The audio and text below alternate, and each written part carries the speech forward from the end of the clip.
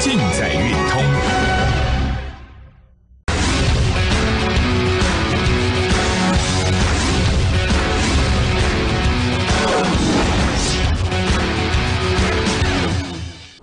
全国投资朋友，大家好，欢迎收看今天的三观破阵。这边还是一样持续的提醒大家，盘势还没有说很稳啊，有一些正准备开始进行补跌的股票呢，记得一定要赶紧把它卖掉，哦，先赶紧把它卖掉。那昨天整个呃，我们也看到嘛，昨天道琼指数啊，还是呈现拉回了，哦，道琼是呈现拉回后涨。那比较强的呢，可以看得出来了，昨天纳斯达克指数。哦，就已经不怎么跌了。哦，这大家有没有发现到？我们从昨天刚开盘去看嘛，哦，道琼还有先先大跌哦，之后才反弹嘛。哎，可是纳斯达克指数反而就干嘛？已经先出现止跌回稳的迹象。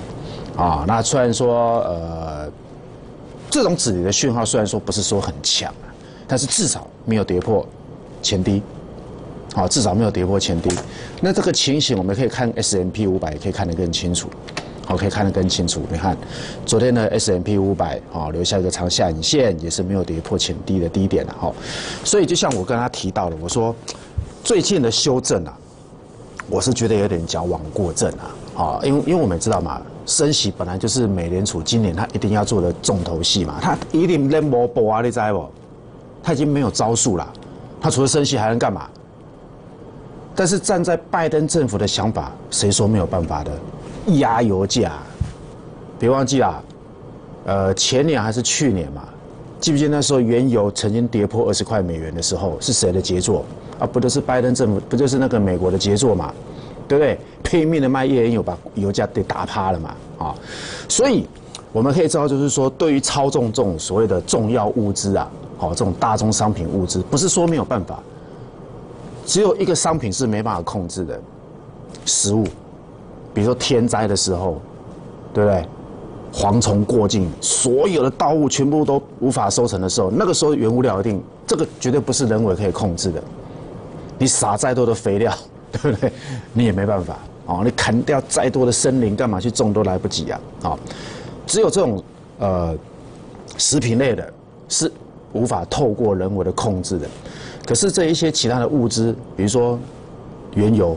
我增产价格就跌，我减产价格就会涨，就这么简单。所以，我个人的看法啦，我我倒觉得哦，原油的下跌啊，绝对有利于舒缓通膨。不管是我们自己台湾本身，国外全世界都一模一样，哦，因为它是最重要的什么消耗品。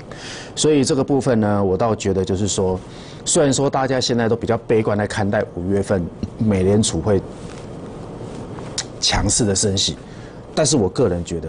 现在大家都猜两码嘛，我我我预估哦，搞不好说不定只剩一码，好，搞不好只剩一码，因为当物价已经稍微平抑之后，它就不需要再用那种很用力的方式去调高这个这个去升息的啦。好，我们到时候下一个月份再来看哈。好，那我们赶紧来看一下今天的大盘，今天大盘呈现一个没有主流的盘面啊，基本上是完全没有主流，好，没有主流，也没有特别强的类股，也没有特别弱的类股，但是有个。族群却是非常的弱，就是高价股，特别是你看像细粒 K Y 还达到跌停，哦，这个肯定会对于整个高价股来讲啊，是一个信心上的打击啊，哈，还有包括像信华，好，我们看到今天是压回六五三三的金星科持续的往下破底，三五三二的像台盛科啦这些很热门的股票都是持续的修正，还有包括裕泰也是破六七八一的 A S K Y 也是破了一千的嘛，哈，这都持续往下修正哦。今天最弱的都是这些高价股了，好，还有包括三六六一的四星，好，你看今天是往下先，呃，持续的修正，还有像利旺，昨天很弱，今天持续的走弱，好，大家已经很明显的看得出来了，今天的重灾区反而是在这些高价股，所以间接的也影响到了今天的联发科持续的创下短线的新低，最低来到八百二十五块，略微破底了，好，略微破底。当然了，你说这一些动辄五六百、七八百、上千元的股票，一跌下来，多多少少 都是会有所影响的。但是呢，就像我跟他有昨天有跟他提到的，好，就说稍微跌破都没有关系啊。关键在哪里？关键就在于说整个盘面能不能尽数的量缩止跌了。哦，以现在整个大盘来看的话，昨天大概是两千，呃，昨天是两呃三千亿嘛。好，虽然说不是说很大的一个杀盘的量，那如果说今天呢，大盘还是持续的创新低的情况之下，看看今天的量能不能缩的再少一点。我我觉得啦，两千六还是有点多了，好，最好是来一个快速的缩到大概只剩两千二、两千三，甚至于更低都更好。好，借由这种极低的低量来确认，好，这边的压盘的力道已经不大了。那我们知道昨天融资大减五十二亿嘛，哦，五五十二亿也许不算多了，哦，但是至少在盘势不好的情况之下，这种轻浮的方式是无可避免的。我我相信用融资买股票的投资朋友一定是很有感的，因为当行情不好的时候，那个资金追缴的压力是一定会有的嘛。所以这种轻浮额的这种方式，肯定对很多用融资买股票的投资朋友来讲的话，看到盘跌，好，那个心理的压力肯定是很大的。有钱的还好了，没有钱的就要去想办法去凑钱，干嘛来补融资？所以导致就是说，现在盘面上啊，基本上来讲是完全没有什么，没有主流，没有信心的。好，这边跟大家做个提醒。那没看到嘛？哈，就是说昨天某些类股来讲的话，昨天最弱的就是什么？防疫的相关类股嘛。好，那今天最弱的又变成高价股，等于大家有没有发现到，每天都有强的类股，每天也都有非常弱势的股票。所以在这种非常杂乱无章的盘面之下，说真的很难有大的报酬率。你看昨天很多强的股票，今天就转弱了，很有可能今天转强的股票，明天又会大跌。所以这种高难度的操作，我我只能跟他提醒啊，就说，当然，呃，越是做短线，越是考验到你这个对盘势应变能力啊，还有选股的功力。因为很有可能你看到急大一追就逃住了，看到急杀一砍就砍到低点了，这个就是最近台面上的一个写照了啊。那当然，除了我们刚刚列举的这些，像包括像细粒来讲的话，你看今天这样一路杀到跌停，之前我有跟他提到了，我说一般来讲哦，这么高价的股票哦，一般持有的人大部分都不会是散户了，持有这么贵的股票的投资朋友，绝大部分应该都是资金，好有到一个康崩的一个实力在的一。不不一定一定过亿啦，哦，但是肯定不会是穷人嘛，所以我们可以看得出来，就是说，像以细粒来讲的话，好，你看嘛，今天持续毫不留情的灌到跌停板，对于整个盘面上的这个信心一定是会有影响的，因为它毕竟不是一档很便宜的股票嘛，所以呢，间接的也会影响到其他一些高价股的表现。那之前我有跟他提到嘛，就说。高价股的止跌回稳啊，对大盘是很有重要、很有关键性的。你去看，像今天我们讲最强的这些什么三二二一的这些台加硕好了，我相信像台加硕这种股票，就算今天拉涨停，你也不见得会有感觉，大家懂吗？为什么？因为它股价在三十几块嘛。就算你看到今天天宇像天宇这种股票反弹、跌升反弹，你也不见得会认同它。为什么？因为股价只有二十几块。好，包括什么三一七零的这个统证也是一样，对不对？表现再强。因为他们毕竟是低价股嘛，这种股票比较偏主力色彩。一般来讲，这种股票就算涨，就算在打底的，你也不见得会认为说这种股票它会成为主流。所以现在啊，我我这么讲好了啦。为什么高价股这么重要？为什么我一直在观察像联发科好或者其他这些高价股？因为这些高价股的止跌啊，它才有办法把大盘给 hold 住，它才能够把这个啊，目前来讲大户在撤资的这个情况啊。把它遏制住啊，否则这些十户大户一直在卖股票，说真的，对台股来讲，它不见得是好事情。它的动能不断的流失啊，钱不断的流失的情况之下，你说后面怎么会有什么反弹的大行情？所以今天，当然，也许你会觉得说，那我们不一定要依靠这些十户大户啊，只要三大法人，对不对？靠外资啊，靠投信，靠自营商进来买，不难道不行吗？外加什么四大基金，难道不行吗？当然啦。买盘当然越多越好啊，大家懂我意思吧？也也许外资可以撑起半片天，加投信加自营商，可是如果绝大部分的这一些有比较有资金的十户大户一直在撤的话，说真的，你光靠外资自拉自自唱自弹自唱能够唱多久？因为最终的结果，行情要推升，还是要靠大家的力量嘛。所以接下来要跟他做个提醒，就是说，因为今天的高价股太弱了。所以呢，一定会稍微挤压到盘势的滋稳。也正因为如此，就像我所说的，别的股票不一定特别的重要，但是联发科它今天就一定很重要了。为什么？只要它不要再破，对台面来讲的话，它是会有帮助的。好，它绝对是会有帮助的。相反的，大家有没有发现啊？今天台积电稍微好一点点，虽然是创新低啊，但是至少那个压的力道已经没有像昨天那么明显了，好，那么明显了。当然了，我们有时候在判断那个所谓的最后的赶底阶段哈，大家知道吗？一般来讲，陌生段的时候，涨的都是一些什么比较偏投机的股票。我们如果把时间拉回到这个一八六一九那段的时候，大家有没有印象？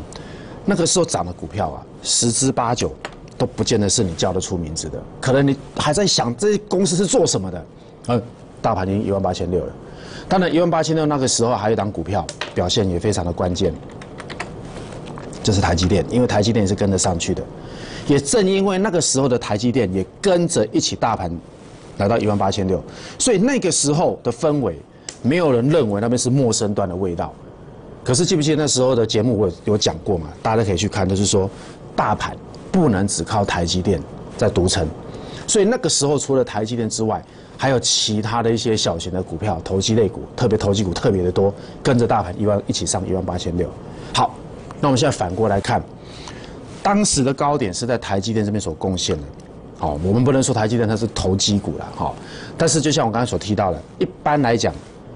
股市的高点啊，我们在讲就是所谓的陌生段啊，哈，就是说涨势的末端，大部分都是由这些投机股所构成的嘛。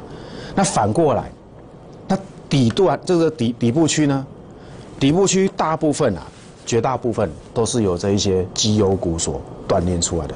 为什么？因为通常来讲啊，这种绩优股在跌势的末端的时候啊，好，它是一个测试市场认同度一个最好的机会点。我打个比方好了。比如说，现在把台积电压下来，如果很多人积极的在那边布局台积电，这为什么？表示说大家都觉得说，哎，像台积电这种好股票，在五百多块已经买点浮现了，所以很多人愿意掏钱出来买。你买我也买，大家买的情况之下，那你说这不止跌回稳了？我们先不去考虑什么什么指标的问题，有什么低档背离这些，先不去考虑了，好，先不去考虑。所以为什么说在很多跌势的末端呢？我们要看的是什么好股票，而不是看那些烂股票。原因就在这里啊，因为第一点，敢在一个股票在破底的时候还去买股票的人，也也许单一个案它不是非常的明显。好，你比比如说今天你敢买啊，你你只买一张那没有用啊。对于只能买一张，跟能买一千张或一万张的人来讲的话，肯定是那个是那个买一千张跟一万张的人比较影响力嘛。我相信在这边有能力买一百张，哦，一百张可能对台积电来讲没什么，有能力在那边买。一两千张台积电的人，你想嘛，动辄掏出好几亿，这种人绝非等闲之辈嘛。所以我们要去留意，就是说，当像台积电这种绩优股，它绝对是绩优股。好，哪哪怕你不去看台积电，比如说随便嘛，有人喜欢聊红海嘛，我们可以看红海嘛，对不对？你看，比如说今天对像红海来讲的话，我们没有人敢说它是烂股票嘛，对不对？包括像什么台达电这一些股票也是一样，有人敢说台达电这种股票是烂吗？有人敢说红海、华硕这些股票是不好的股票吗？并没有嘛，对不对？所以为什么说在观察整个大盘越接近到跌势的末端的时候，啊，比如说我们今天先做一个大胆的假设嘛，哦，就说如果说今天要断定大盘一万六千点是守得住的，哦，我先跟大家讲哦，假设说我我这是一个假设，我就说如果我们今天要判定大盘一万六千点是守得住的，你想吧，怎么可能是靠台加硕这种股票来守嘛？大家懂我意思吧？也许今天看起来不错，对不对？像什么天宇这些，你看这这些股票，你看都盘很久，你看为什么天宇今天会这么强？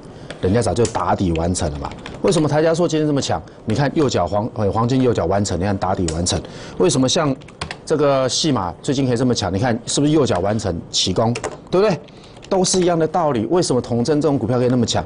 你看这个已经慢慢有在打底的迹象，所以当然我不是说这些股票不好，但是这些股票基本上来讲挂不上绩优股的招牌嘛，对不对？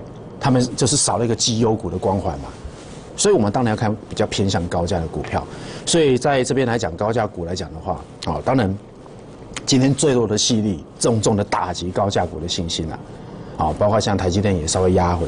也影响到联发科，所以我们要去观察，就是说这些高价股能不能快速的止跌回稳。那当然啦，止跌回稳的一个关键就是第一，卖压要减缓。简单的说，只要外资不要再用力的卖，基本上要破底的可能性就不太大了。再来 量缩卖压，当卖的压力越来越小的时候，想接的人他才会愿意慢慢去接，它就会形成一个抵消。所以通常来讲，这边一定会出现短暂的量缩。所以我们来观察嘛，这两天呃，我们以今天开始来看好了了哈，因为昨天是大跌的嘛。如果说今天开始出现那个比较漂亮的止跌回稳的量缩的话，基本上来讲的话，也许短时间之内大盘它不会大跌，啊不会大涨了，好，但是要在大跌的可能性也没有。就像我刚刚一开始跟他提到，你看，我们呢昨天来看一下这个 S M P 五百就好了，啊，别的不用去看，S S M P 五百也是也是很明显的，你看已经慢慢慢慢有点止跌回稳的迹象。好，你看这个底部已经有买盘的进驻，这个情形你再绕回去看纳斯达克的情形也是差不多。好，我们来看一下，好，你看它没有还没有破破前低嘛？那如果说纳斯达克如果说指数有办法在这边尽速的止跌回稳的话，对于台股它会有帮助的，特别是电子股，哦，特别是电子股。所以你看到我这几天是不是提醒大家，我说有些传产的股票，好，也也许是比如说像航运股。好，比如说你手上有类似像长隆呐，或者阳明呐，哪怕是万海的，不管你手上有哪一些航运股啊，你要特别去留意，航运股它会类似这种传单股票会稍微补跌了，跌到哪里，这不是讨论的重点。好，我今天不是要去跟他预判说，哎呀，这个航这个航运股啦，长隆会跌回来多少？我只要告诉大家，它一定会补跌，因为这种补跌效应最近太明显了，太多了。你看，包括像什么创维补跌，你看智源补跌。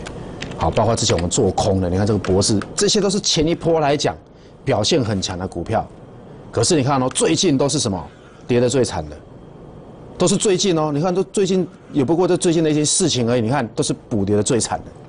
那为什么这些股票最近会补跌的那么惨？因为前面没有跌嘛。所以当法人已经没有股票可以卖的时候，我只好去卖那一些没有跌的股票，所以才会造成的是像智源啊、创维这些股票最近会跌的那么惨。这是这种补跌的效应，大家要记得。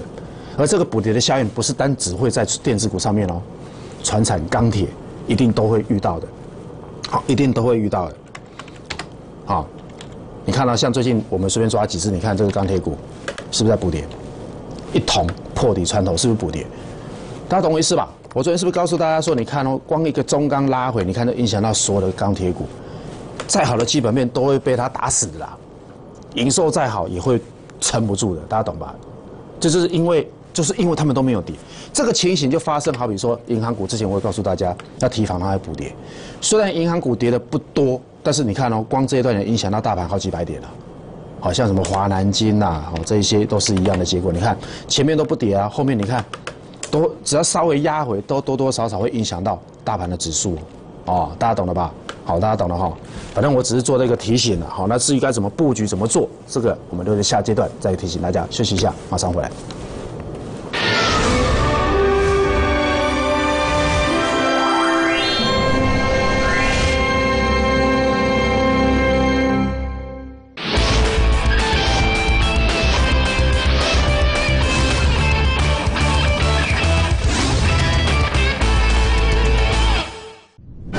成都总部三大保证，第一保证正派经营，绝不和公司派大股东主力做手，勾结坑杀散户。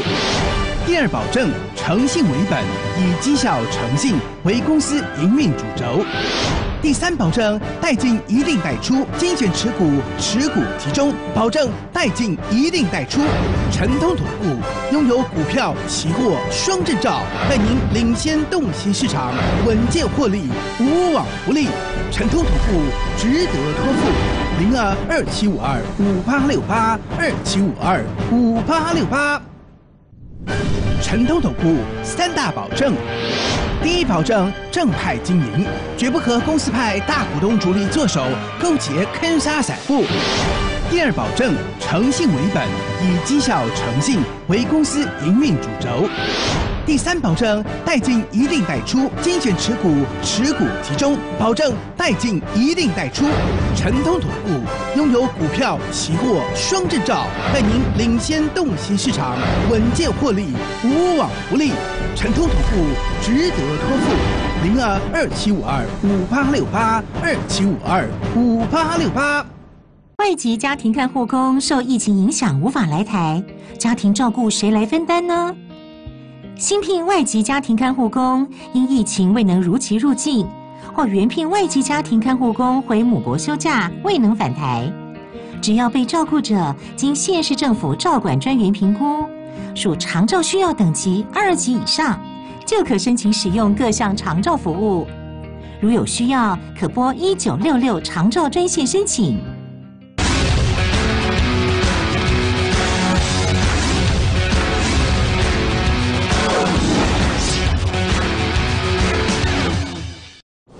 好，你看哦，最近补跌的啊，哦，就是像类似像台匪啦，你看啊、还有包括像这个一七零八哦，东碱哦，这个哈、就像我讲的，就是说，因为这一波来讲，的确在整个原物料来讲的话，的确是利好他们啦，哦，特别加上通膨的关系。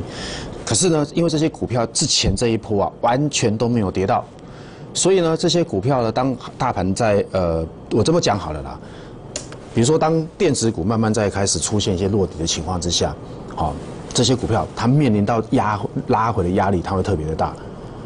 比如说，我现在满手的这些，比如说类似像台匪啦、东碱这些股票，我我比如说我现在想去捡便宜买那个叠升的电子股，我势必一定会把这一些涨多了，不管是像什么东碱啊哦这些股票，我我一定会把它卖掉的嘛，将心比心嘛。我觉得每个人的操作模式都差不多嘛。比如说我今天我想去买电子股，我肯定会砍这个的嘛。我把东西卖掉之后，不管赚多少嘛，哎，我慢慢的把它移到去，我想去买一些叠升的电子股，这是个必然的一个过程嘛。所以你就会发现到说，最近的大盘它就是这样，就是说弱的，很明显可以看得出来，十之八九都是之前涨多的嘛。哦，那比较呃不跌的，我们不要讲强的嘛，哈、比如说比较强的，像我们今天看到，哦，刚才跟他提到的，哦、比如说像这个台加说这种股票，对不对？这个都是已经干嘛？已经开始领先打底。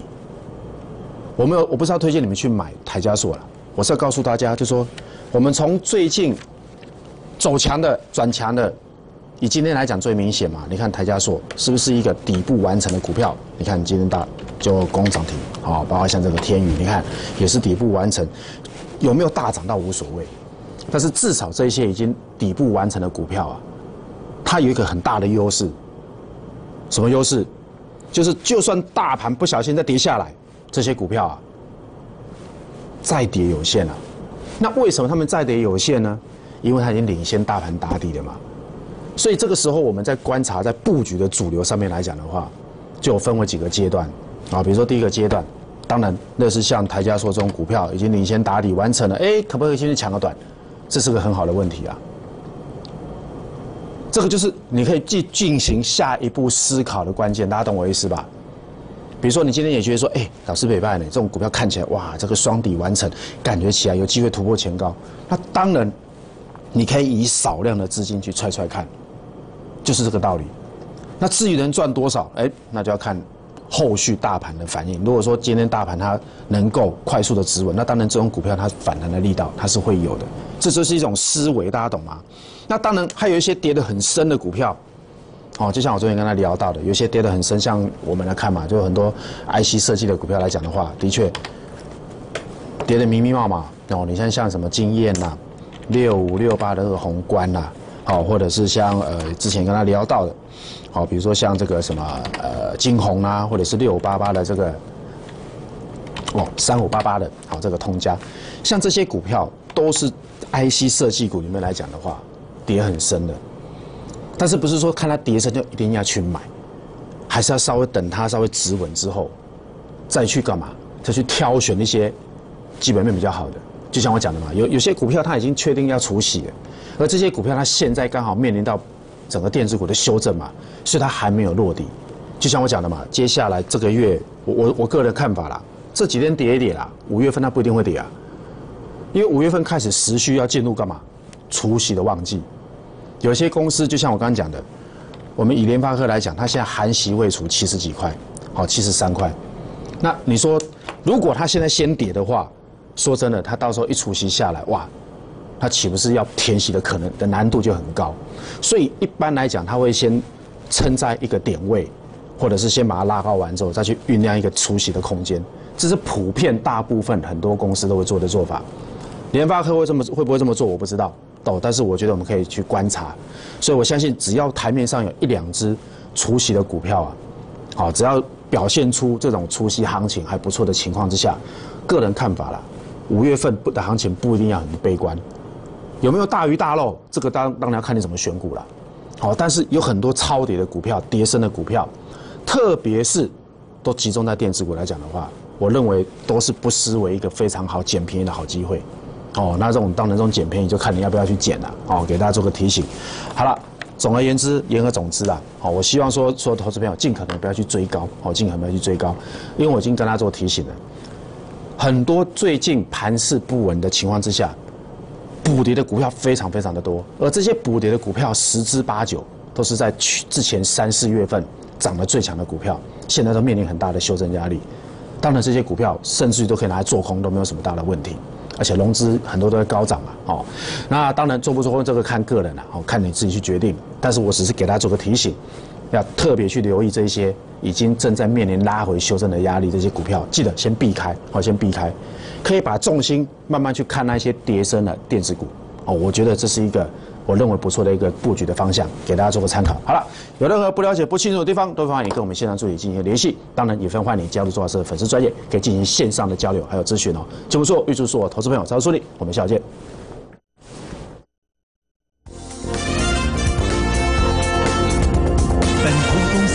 所推荐分期之客也有大证券无不当之财务利益关系，以往之绩效不保证未来获利。本节目资料仅供参考，投资人应独立判断、审慎评估并自负投资风险。